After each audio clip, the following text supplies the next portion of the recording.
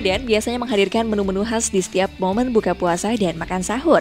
Hal ini juga dirasakan keluarga besar Elvi Sukaisi, di mana Fitria Sukaisi mengaku jika ada menu spesial yang disantap keluarga besarnya di setiap santap buka puasa. Bubur surba menjadi pilihan keluarga Ratu Dangdut Elvi Sukaisi, di mana bubur tersebut hanya ada pada saat bulan puasa saja.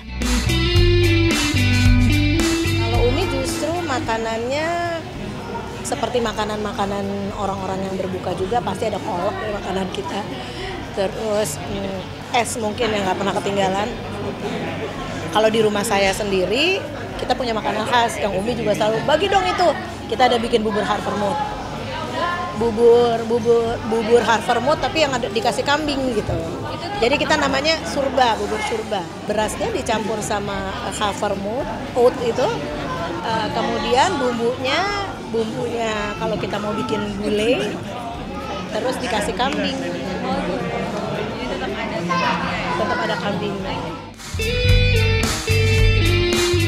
Selain makanan khas bubur surba, ciri khas lainnya di bulan puasa juga hadir dengan kegiatan salat tarawih yang dilakukan di kediaman Elvi Sukaisi. Sayang, diakui Fitria, salat tarawih di rumah sang Umi sudah tidak dilakukan lagi, di mana ibunda tercintanya kini salat tarawih di masjid dekat rumahnya.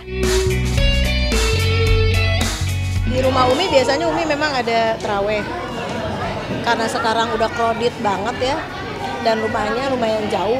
Uh, saya di pasar minggu yang luar biasa macet Wirda juga yang udah pisah rumah di uh, Cipinang sana jadi yang kita udah pada punya keluarga saya biasanya bikin terawih sendiri. Tapi kemarin saya dengar Umi lagi asik terawih di masjid dekat rumahnya di sini gitu. Jadi dia sekalian bersilaturahim sama tetangga-tetangganya gitu. Tapi kalau di rumah saya sendiri ada tadarus Quran setiap pagi. Biasanya Umi juga datang ke situ